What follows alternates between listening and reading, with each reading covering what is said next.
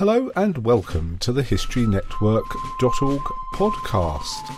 If you would like to become a patron of the podcast, we would love you to. You can do so at patreon.com forward slash the History Network, and you can literally become a patron for as little as a few cents, and every little helps.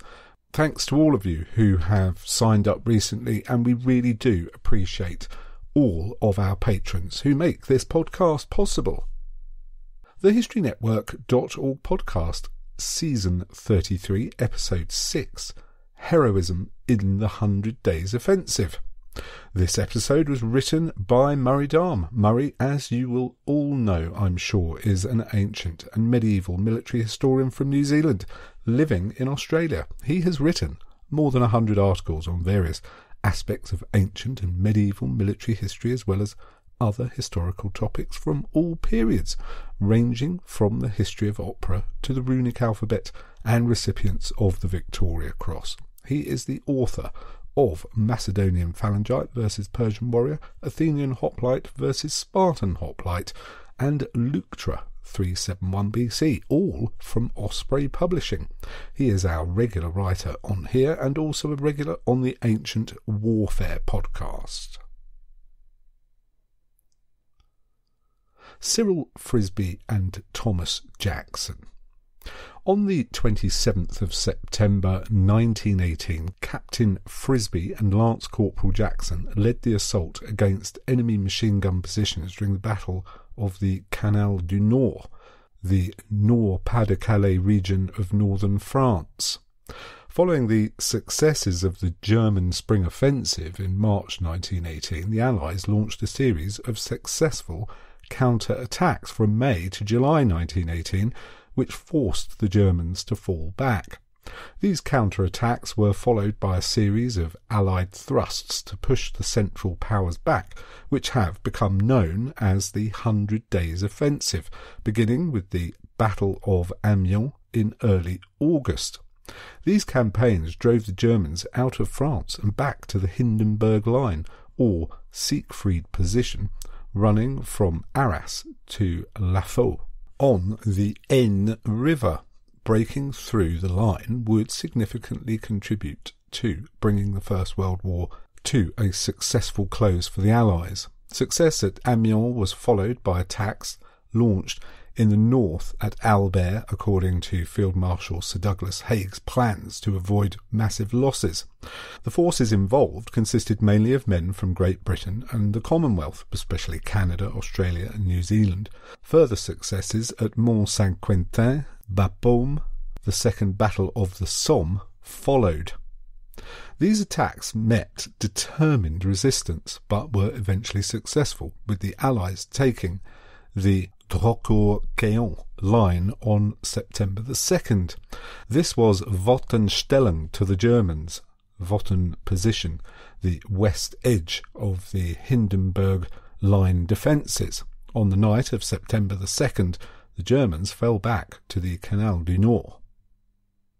Further assaults across a wide front pushed the Germans back to the Hindenburg line during September at Havrincourt, Saint Mihiel and Épehy, Allied attacks carried out by forces from nearly every Allied army. Allied Supreme Commander Generalisme Ferdinand Foch's Grand Offensive on the Hindenburg Line itself began on September 26th with units from the French and American Expeditionary Force attacking the Meuse Argonne, followed by Belgian, British, and French troops attacking at Ypres in Flanders on the 28th. The British Fourth Army, consisting of British, Australian, and American troops, began its assault on September 29th at the Battle of Saint Quentin Canal. The attack on the Canal du Nord was launched on the 27th of September by the British Third Army, consisting of troops from Britain, Canada, and New Zealand, deliberately planned to occur one day after the Meuse Argonne offensive and a day before the Flanders campaign, so that Allied forces would not be met with huge numbers of German reserves, which could have been brought to bear against a single Allied attack. The Canal du Nord was an incomplete canal system which stretched from the Oise River to the Dunkirk Scheldt Canal. It had been dug in 1913, but the sections of the canal were in various states of completion when war broke out in 1914 and work on the canal ceased. This meant that in some sections the ground was difficult and boggy, whilst in others the incomplete canal workings created almost perfect fortifications for the defending German forces. The retreating German forces also exacerbated the terrain by flooding and damming various sections to hold up an Allied advance or force them into the fields of fire of the copious machine gun and field artillery positions they had set up to defend the line of the canal. The Germans also destroyed several bridges over sections of the canal, forcing the Allies to assault their pre prepared positions across difficult terrain. The Canal du Nord faced both the British Third and First Armies. The Third Army was also expected to provide support for the British Fourth Army in the assault which would launch on September 29th. Speed in achieving the aims of the assault was therefore essential. Several of the other offensives became bogged down after initial success in the Meuse-Argonne and Flanders campaigns. Breaching the Canal du Nord would, however, leave the path open to Cambrai. The British First Army was tasked with crossing and penetrating the Canal du Nord northwest of Cambrai, while the Third Army would need to take the canal as far as the Scheldt Canal, and so be in a position to support the Fourth Army assault on Saint-Quentin on the 29th. Although it was mainly an infantry action necessary because of the terrain, some tanks were incorporated into the attack. The 1st Battalion of the Coldstream Guards were part of the Third Army posted on the extreme left of the line of the Third Army. This was in keeping with their regimental motto Nullis Secundus, second to none, and they were characteristically placed on the extreme left of the line so that they would literally be second to none. The Coldstream Guards were tasked with securing a crossing of the Canal du Nord on the Demicourt Graincourt road almost directly west of Cambrai. The attack was launched at 5:20 a.m. on the 27th in total darkness immediately to the Coldstreamers north. The Canadian Corps, part of the First Army, was tasked with capturing the important high ground in Bourlon Wood Cyril Hubert Frisby was acting captain of a company of the Coldstream Guards for the assault on the canal. Frisby had enlisted as a private in the Hampshire Regiment in 1916 and was commissioned as a second lieutenant in the Coldstream Guards in March 1917. The Coldstream Guards had always suffered high casualties among its officers, and so Second Lieutenant Frisby was put in command of a company as acting captain. Born in Barnet, Hertfordshire, Frisby was eligible to join the Coldstreams since Barnet had been a stop on George Monck's 425 mile march from Coldstream to London in 1659 1660, and the counties through which Monk had marched remained the recruitment corridor for the Coldstream Guards Regiment. This was unusual for the British Army since most regiments were open to anyone from the four home nations. As the attack was launched across the canal, Frisby witnessed the leading platoon come under annihilating machine gun fire from a strong machine gun nest situated under an iron bridge on the far side of the canal. The platoon was unable to advance even when waves of reinforcements arrived. Captain Frisby realized immediately that unless the machine gun nest was taken, the entire advance would fail. If the advance failed there, then the contemporaneous assaults on the canal to the north and south would also be jeopardized. Frisby knew what needed to be done and called for volunteers to follow him across. The first man to volunteer was Lance Corporal Thomas Norman Jackson. Jackson was from Swinton, near Doncaster in South Yorkshire, and was 17 when war broke out in 1914. He volunteered in the 1st Battalion of the Coldstream Guards in September 1916, also being from the traditional recruitment corridor of the regiment. Two other men also volunteered to accompany Captain Frisby, and together the four men dashed to the canal edge and climbed down over the barbed wire into the dry canal bed under intense point blank machine gun fire from the enemy nest. They ran forward and succeeded in capturing the machine gun post, taking two guns and twelve prisoners.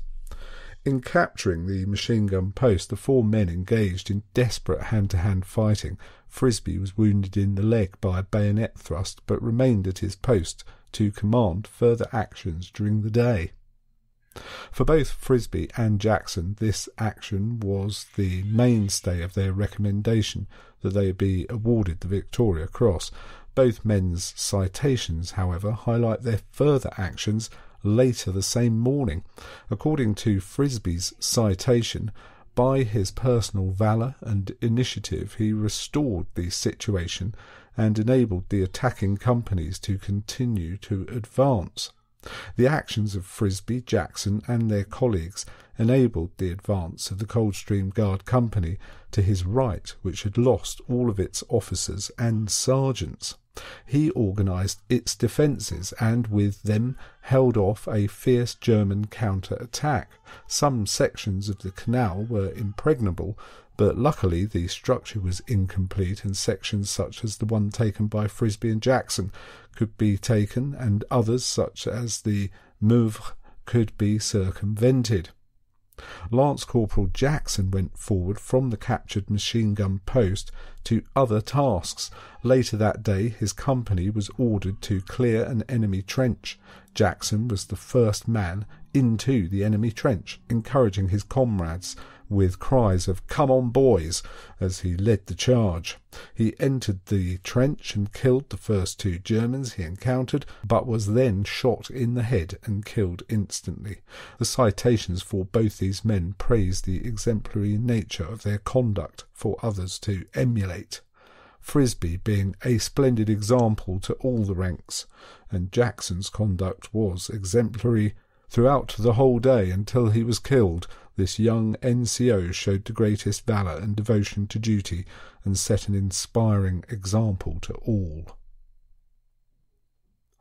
Lance Corporal Jackson was buried with full honours in Sanders Keep Military Cemetery, Graincourt-les-Havrincourt. His fiancée and sister were presented with his Victoria Cross on March 29, 1919, by King George V at Buckingham Palace. Captain Frisby received his Victoria Cross at the same investiture ceremony. North of the Coldstreamers, the Canadian Corps had constructed wooden bridges to cross the canal since it was flooded in their sector the Bourlon Woods and its high ground was captured. Indeed, by the end of the 27th, all objectives were reached.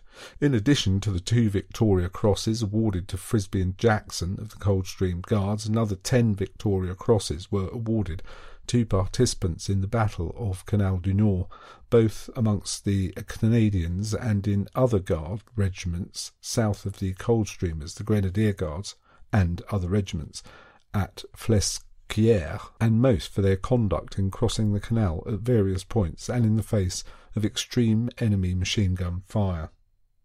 Perhaps the most perplexing incident of the Battle of Canal du Nord happened on the 28th September, just south of the Coldstream Guard position at Marcoing, where another Victoria Cross was earned by Private Henry Tandy of the 5th Battalion Duke of Wellington's West Riding Regiment. After taking the village of Marcoing, a retreating and wounded German soldier entered Tandy's rifle sights, but Private Tandy chose not to fire. The soldier apparently nodded his thanks and moved along. According to some accounts, that German soldier was Gefreiter, Lance Corporal Adolf Hitler. We know Hitler was wounded in a British mustard gas attack at Ypres on October the 15th, 1918, so his presence at Marcoing in late September is possible. The Allied victory at the Canal du Nord was hard won and costly, although the enemy were on the defensive and had suffered reverses in the months leading up to the battle. They put up a fierce resistance and mounted several determined counterattacks during the battle. The Hindenburg Line was breached on September 29, 1980, at the Battle of Saint Quentin Canal, and the success of that battle opened up the route to Cambrai and the decisive Allied victory at the Battle of Cambrai in October 1918, notable for the relatively low number of Allied casualties. Before the war, Thomas Jackson had been employed at the Mexborough locomotive depot. For reasons unknown, Lance Corporal Jackson's name was not added to the Great Central Railway Memorial built in 1922.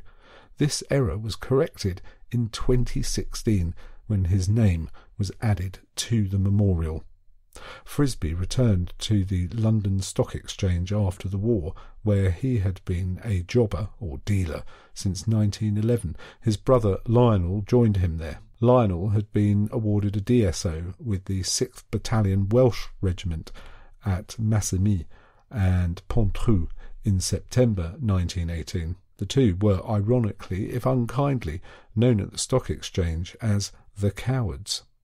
Thereafter, Cyril Frisby achieved fame as a sports fisherman, especially in regard to tuna. He died in 1961. Well, thanks, Murray, for another great episode for us. If you would like to write an episode for us, then do feel free to drop us a line info at thehistorynetwork.org and we would love to hear about your idea. Alternatively, if you've just got an idea and don't wish to put uh, fingers to keyboard and write one, then we'd love to hear of your idea as well. The same address for that info at thehistorynetwork.org. And once again, if you do have a few coppers jingling in your pocket, then do go along to patreon.com forward slash the history network and sign up to become a patron of the podcast. Thank you once again to all our patrons who make this podcast possible. Thanks again for listening. You've been listening to the HistoryNetwork.org podcast, written by Murray Dahm, read by Nick Barker.